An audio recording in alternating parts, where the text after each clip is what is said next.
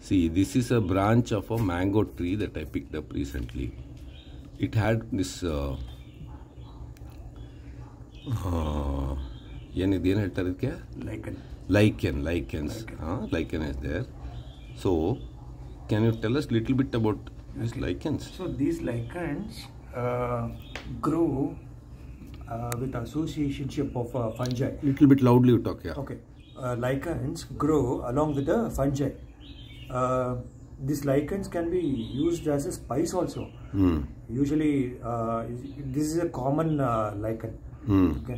ಕಲ್ಲುವ ಅಂತ ಕರೀತಾರೆ ಕನ್ನಡದಲ್ಲಿ ಹ್ಞೂ ಸ್ಟೋನ್ ಫ್ಲವರು ಸ್ಟೋನ್ ಫ್ಲವರ್ ಪಲಾವ್ಗಾಗಲಿ ಇನ್ನೊಂದಾಗಲಿ ಬಾತ್ ಮಸಾಲ ಏನಾದರೂ ನೀವು ಮಾರ್ಕೆಟಲ್ಲಿ ಬಾತ್ ಮಸಾಲ ಬೇಕು ಅಂತ you know, ಈ you know that person will give you this kind of And there is no chance of getting poisoned by this. sir? No, no, no, no. There is no poisonous variety of this lichen.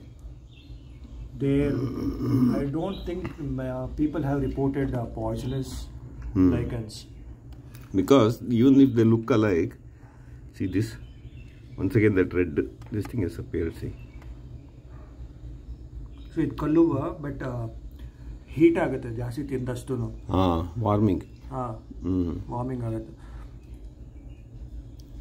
So, and it's a symbiotic relationship between a fungi, Fungi. and uh, algae. And algae. So that little greenish tinge what we see is the algae. Yes.